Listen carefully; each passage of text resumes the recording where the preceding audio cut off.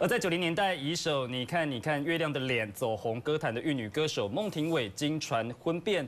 孟庭苇在微博说，她跟前夫其实早在去年一月已经签字离婚。远远的，远远的，月亮的脸。经典旋律，五六年级生肯定能哼上两句。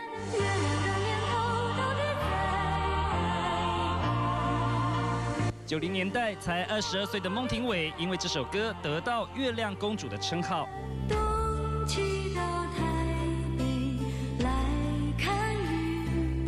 悠悠唱腔，每张专辑都大卖。孟庭苇还是当时的军中情人，却在两千年宣布退出演艺圈。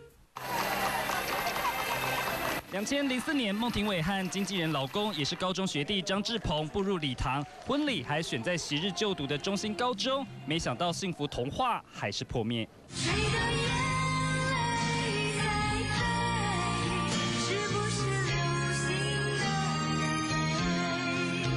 离婚传闻满天飞，孟庭苇老公张志鹏二十四号才刚在脸书发表深情告白，庆祝和孟庭苇结婚十周年，还说是因为和南方二重唱的大南方有合约纠纷，对方产生心结才乱放话，没想到立刻被孟庭苇泼问打脸。二十四号晚间十一点多，孟庭苇就在微博发表离婚声明，说自己和张志鹏早在去年一月就已经签字离婚，很遗憾自己没有坚持走下去，还不忘向受到波及的大男方致上歉意。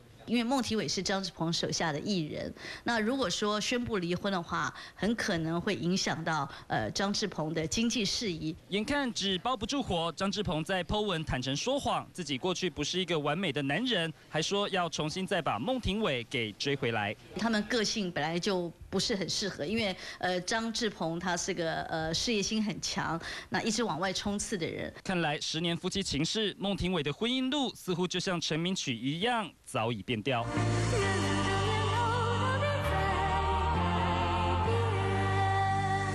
东森财经新闻综合报道。